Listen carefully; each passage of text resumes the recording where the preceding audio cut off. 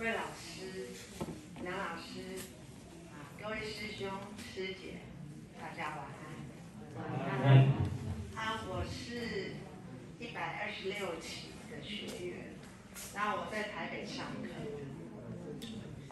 那我今天要分享三个啊，长生学调整后的真实感觉，就是反应。那是我的亲身经历。那三年前，大概二零一九年啊下半年的时候，我突然没有原因的暴瘦。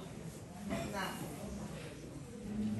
那经过医学，然后科学所有的检查、抽血啊都没有。查到什么原因 都是正常，那就是不断的暴瘦，不断的啊虚弱，然后拉肚子，就天天拉。那既然医学都查不出来所有的原因，什么癌症啊，什么甲状腺啊，糖尿病啊，高血压都没有。什么肠燥症啊、忧郁症都没有，那我怎么办呢？我索性也不会吃药，因为你也不知道为什么要吃药。那我本身也不喜欢吃药。那上天就派了一个天使到我家，那那那个朋友他就为我做长生学。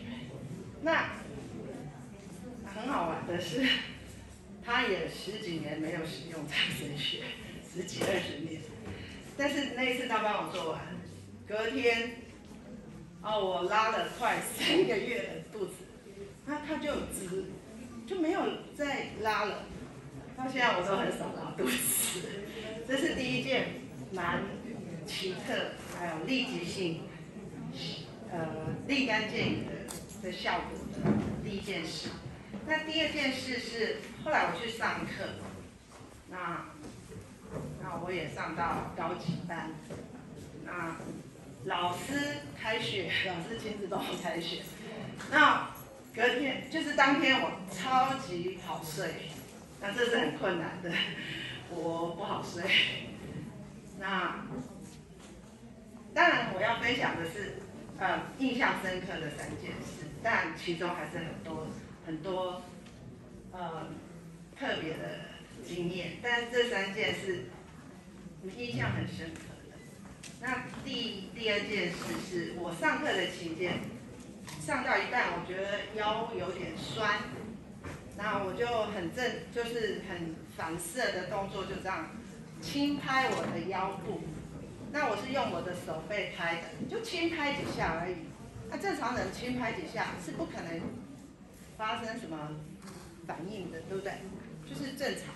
那我轻拍几下，放到我手边，我的手背大面积的出血，那我才知道我已经很脆弱，然后都是血，然后我我就告诉我自己不要害怕，因为正在上课，然后旁边的人看到也吓到，我就觉得要冷静，我就自己调，那调完十五分钟后，他就收敛了，收敛了。七到八分，我知道这很难相信，但这是我的亲身经历。那第三件印象深刻的是，我可能穿了不适当的鞋子去爬山，然后前一天有去给人家修指甲，可能感染，那我的大拇指、脚拇指就非常的肿胀。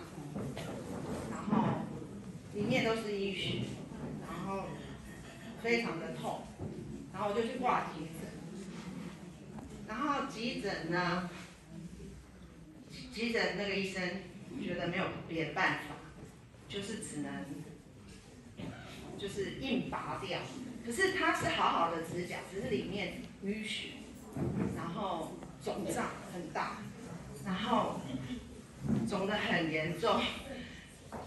然后不能走路，不太能走路。可是他就要我，他说没有别的方法，只能这样硬扯下来，就是或者打针，就是把那个指甲。那我觉得太怕痛了，我就拒绝，就回家自己调。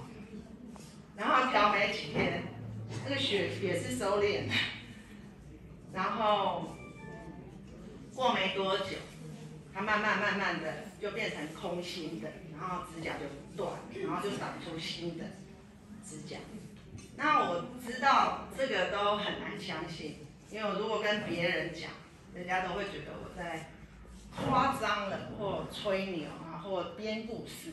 那我有把这个困扰跟梁老师讲过，梁老师说他遇到这种事可多了，但是他还是很坚持、很慈悲、很有耐心的在推广长生学。所以对他很诸多的感佩，然后觉得很感恩，很感恩长生学。那这就是我的亲身经历，那就是也是亲身体验的。那觉得宇宙能量实在太伟大了。那不相信的人，我都觉得很蛮可惜的。那少了一样可以助自助助人的方法，所以我觉得。很庆幸很谢谢很感恩。